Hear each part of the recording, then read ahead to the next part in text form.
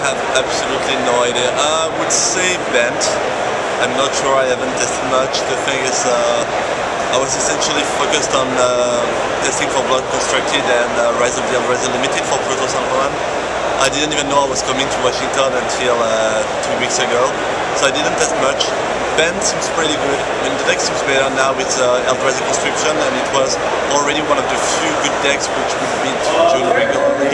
I don't know what the best deck is. I think there are like five decks that are all good.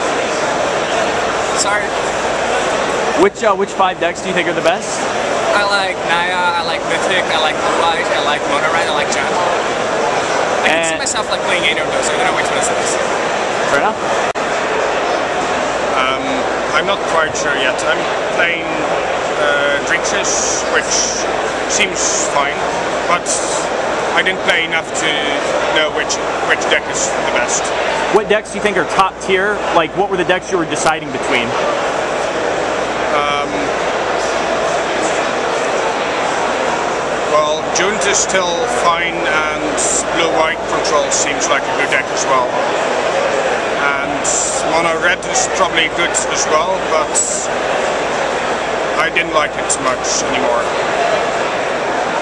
Uh, I feel that it's Mythic Conscription because Mythic Conscription uh, basically, uh, for, me, everybody jumped on me. I was just like saying, hey, Jund got more invites and blah, blah. And I'm like, well, the statistic I was looking at was that what had a higher top eight finish and what made more first place finishes, and that was Mythic Conscription. And basically, the deck just wins out of nowhere.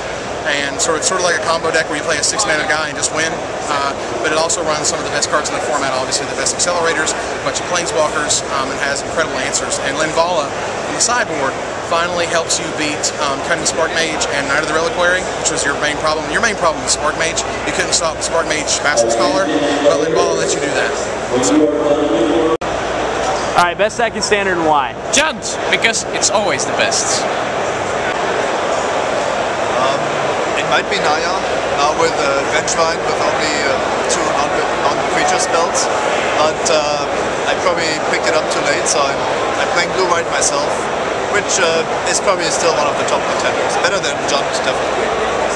How do you feel Jund fits in the format now? Is it still good after your Pro Tour win, or is it worse? It, um, well, the other decks have adopted. It, it's not that unfair anymore.